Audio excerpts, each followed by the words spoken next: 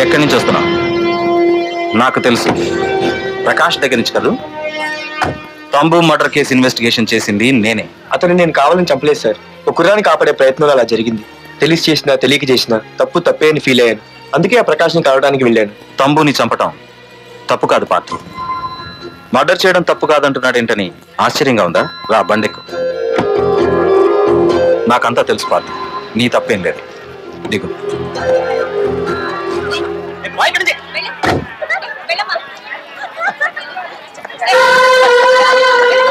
ఆమె ఎవరో తెలుసా? నాకంటే ముందు నా పోస్ట్లో ఉన్న పోలీస్ ఆఫీసర్ భార్య. తన కళ్ళ ముందే తన భర్తని ఆ తంబుగాడు అతి దారుణంగా నరికి చంపేశాడు. అది చూసి ఆవిడ పిచ్చిదైపోయింది.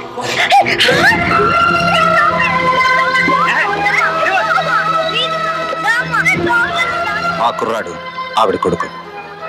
చదువుకుంటూ ఆడుకోవాల్సిన వయసులో తన పిచ్చి తల్లిని జాగ్రత్తగా చూసుకోవడానికి రోడ్డున పడ్డాడు. పెద్ద పెద్దాయన్ని చూడు ఆరు సంవత్సరాల క్రితం తన కూతురి పెళ్ళి కోసం బట్టలు కొనడానికి కూతురుతో పాటు సిటీకి వచ్చాడు. తంబుగాడు ఆ అమ్మాయిని ఎత్తుకుపోయాడు. ఆ రోజు నుంచి ఈ రోజు వరకు తన కూతురు ఉందో లేదో తెలియకపోయినా ఎప్పటికైనా తిరిగి ఇవ్వకపోతారా అన్న చిన్న ఆశతో ఈ సిటీలో ఉండిపోయాడు. వీళ్ళే కాదు పాత్ర ఒక్కసారి అటు చూడు. పశువులు కూడా ఉండలేని ఈ మురికి నీళ్ళ పక్కన వీళ్ళు ఎందుకుంటున్నారో తెలుసా?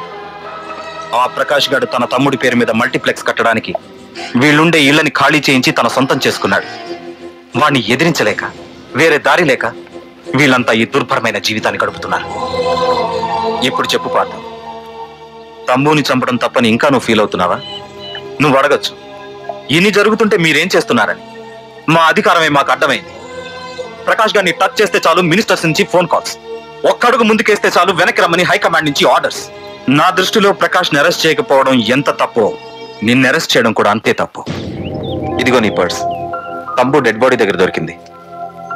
పార్థు నిశ్చింతగా ఊరెళ్ళి. నువ్వు ప్రేమించిన అమ్మాయిని పెళ్ళి చేసుకుని హ్యాపీగా ఉండు. చూడు నిన్ను నువ్వు రక్షించుకోవడానికి ఆ ప్రకాష్ని గాని వాడి మనుషుల్ని కానీ ఏమైనా చేయి నీ వెనక నేనున్నాను. Wish all the best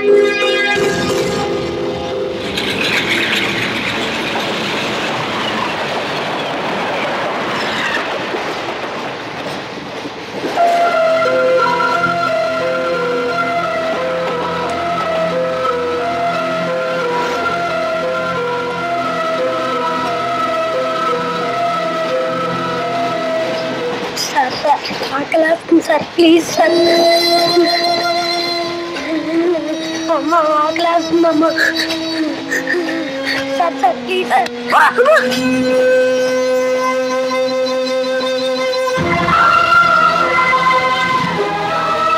APJ Abdul Kalam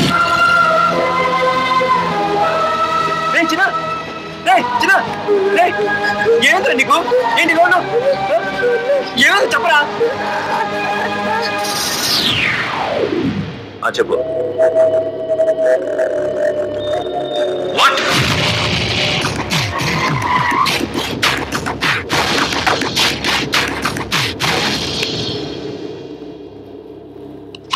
అన్నా తమ్ముడు చంపింది వరదరాజులు కాదన్నా.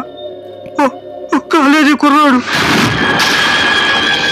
ఎవడ్రా? ఎక్కడ ఉంటాడు వాడు? చెప్పు. పేషెంట్ డిస్టర్బ్ చేయకండి. అతను ఇప్పుడే కామన్ నుంచి కోలుకున్నాడు చనిపోయే ప్రమాదం ఉంది. రే నా తమ్ముడు ఆల్రెడీ చచ్చిపోయాడు రా వెళ్ళు. ఆ, చెప్పు. అన్నా ఆడెక్కడ ఉంటాడో తెలియదు కానీ ఆడితో పాటు స్కూల్ కుర్రాడు కూడా ఉన్నాడన్నా. రే వీడి బండి ఎక్కించండి అలాగేనా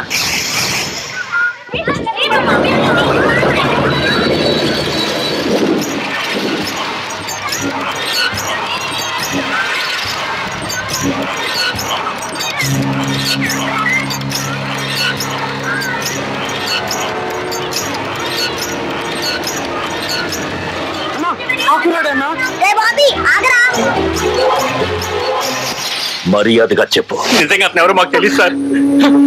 తెలియకుండానే వాడితో మీ కొడుకుని స్టేషన్కి పంపించారా?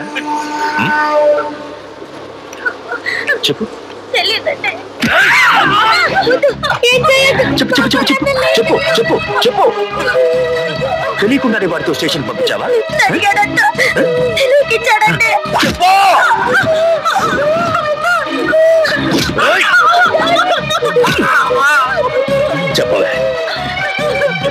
చెప్పు.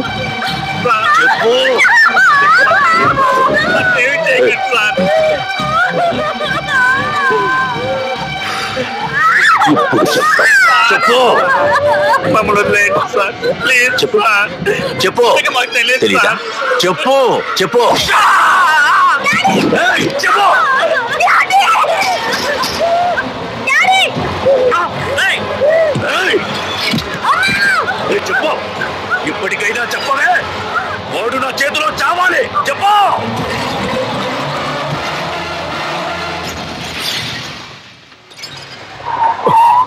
సార్ వాడి గురించి ఇన్ఫర్మేషన్ తెలిసింది సార్. ఇది వాడి ఫోటో. అన్న వీడే వీడే నా తమ్ముడు చంపింది. వీడే.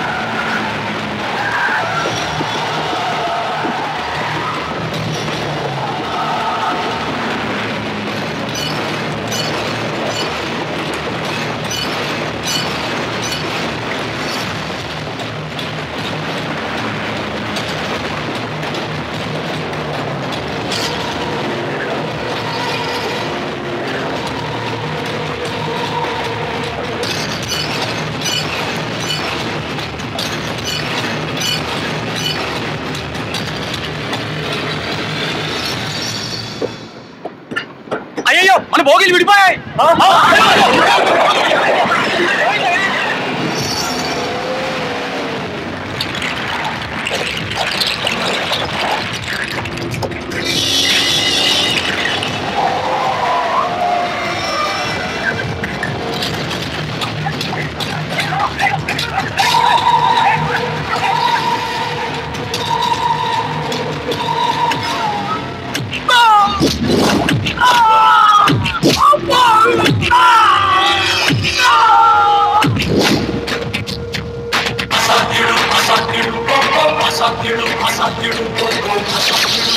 Oh,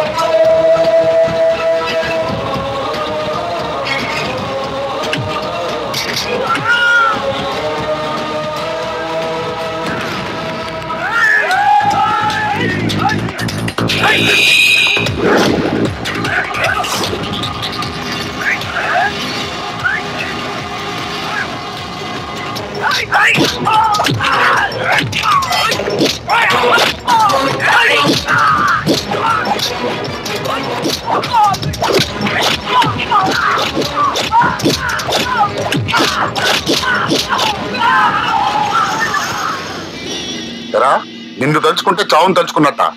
అంత మగాడివా? ఇప్పుడు తలుచుకోరా ఎవరిని తలుచుకుంటావు?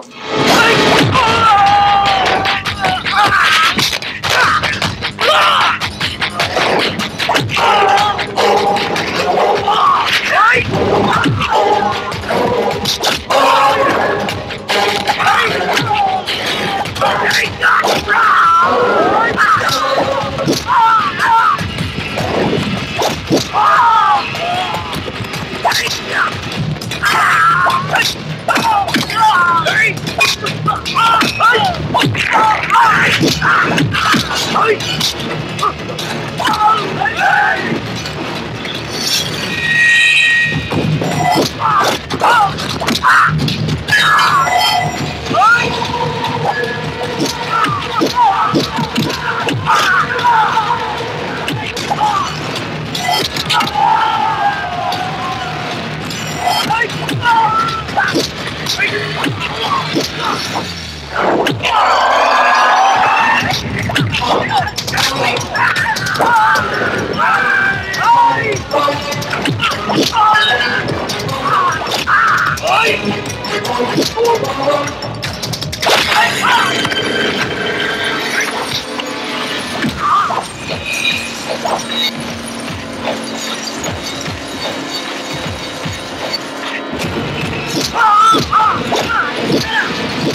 నా గురించైనా ఒకసారి ఆలోచించు ప్రకాష్ ఇప్పుడు నా ఆలోచన ఆవేశం అంతా పార్థుగాడి చావు గురించే ఆల్రెడీ నా మనుషులు వెళ్ళారు ఐదే ఐదు నిమిషాల్లో వాడిని కాదు వాడి శవాన్ని తీసుకొస్తాను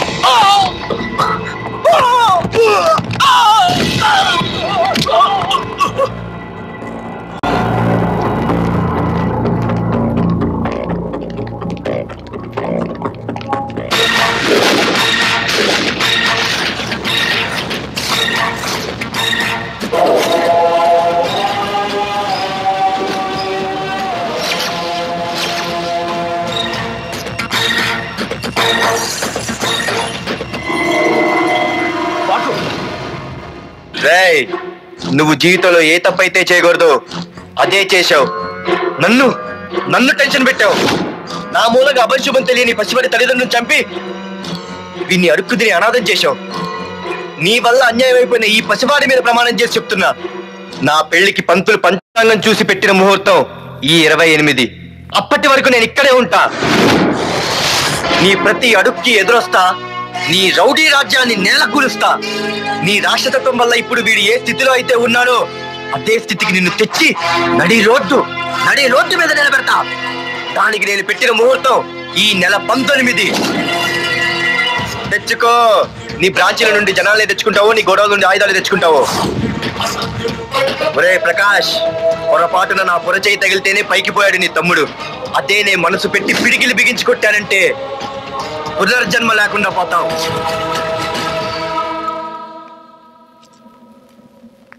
మళ్ళీ చెబుతున్నా నేను ఒంటరి నీ మనుషులు వందలైనా వేలైనా. ఏరి పారేస్తా